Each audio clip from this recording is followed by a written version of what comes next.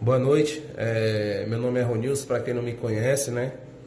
É, trabalho no João Paulo, como está saindo nas redes sociais, na mídia aí, então decidi antecipar aqui, porque são inúmeras ligações, mensagens, preocupado, querendo saber quais informações, como é que é. Então, vou fazer esse vídeo aqui rapidinho, tentar ser o mais rápido possível. Primeiramente, quero falar sobre mim, né, que fui é, acometido agora com diagnóstico positivo do Covid-19, famoso coronavírus. Tive todos os sintomas que o Ministério da Saúde preconiza né, e fala, que, que é tosse, febre, é, forma mais grave que é a dispneia, né, falta de ar. Foi tudo isso daí, evolução em dois dias que eu tive. Foi quando eu já, imediato, já tinha identificado que poderia ser, já fiz todo o procedimento, já não estava nas minhas atividades laborais do hospital e já tinha já peguei já me afastei do, do, do, hospital até sair esse resultado e hoje saiu o resultado. Então hoje tem seis dias né? Hoje completa seis dias desde quando eu me afastei. Mas estou bem minha família está bem minha esposa também está covid positivo tá? Então é nós dois estamos bem estamos aqui em casa. Minha, meus filhos eu tenho dois filhos tenho um de um ano e dois meses. E tenho um filho de sete anos e graças a Deus meus filhos estão super bem, não sentiram nada, nenhuma evolução, estamos mantendo os cuidados que é para ter é, com eles, até para evitar o máximo de contato, mas tem a mãe que está com Covid e o filho de um ano que amamenta ainda. É, mas estamos fazendo todas as orientações que o CIEVS com, com o Ministério da Saúde orientou, né?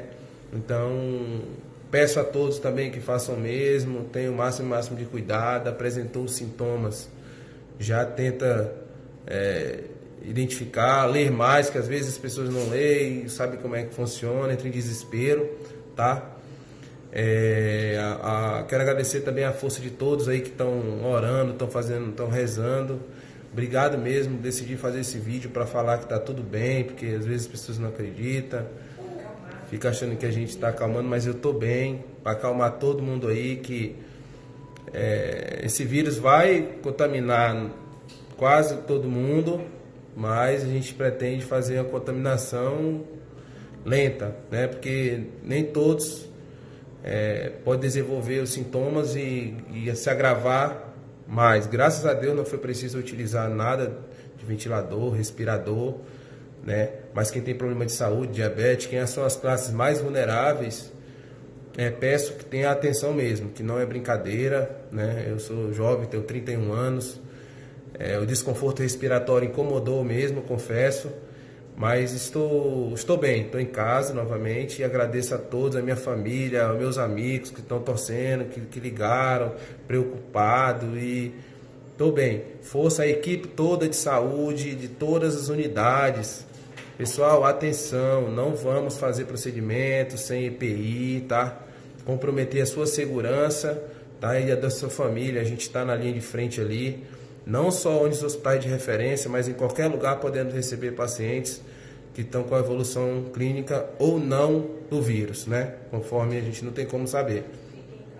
Fiquem em casa, agora eu vou ter que falar, a gente sei que é difícil, mas ficar em casa, evitar o máximo de aglomeração de pessoas. Eu estou dando essa orientação porque é complicado mesmo, o trem é feio, tá?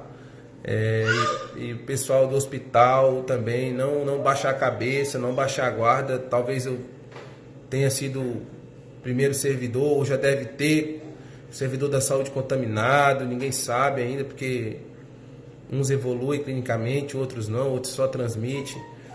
Então, assim, vamos levantar a cabeça. Daqui a pouco estarei de volta, se Deus quiser, é, para fazer o que a gente gosta, que é salvar a vida, cuidar de pessoas. E vamos levantar a cabeça. É, todos nós merecemos respeito, né? Tanto desde a limpeza até o último patamar que tem o hospital, diretor-geral. Então, que estamos ali na linha de frente.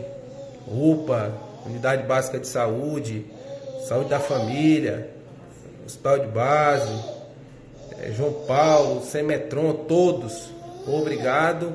Está tudo bem, vou manter vocês informados. Valeu? Boa noite.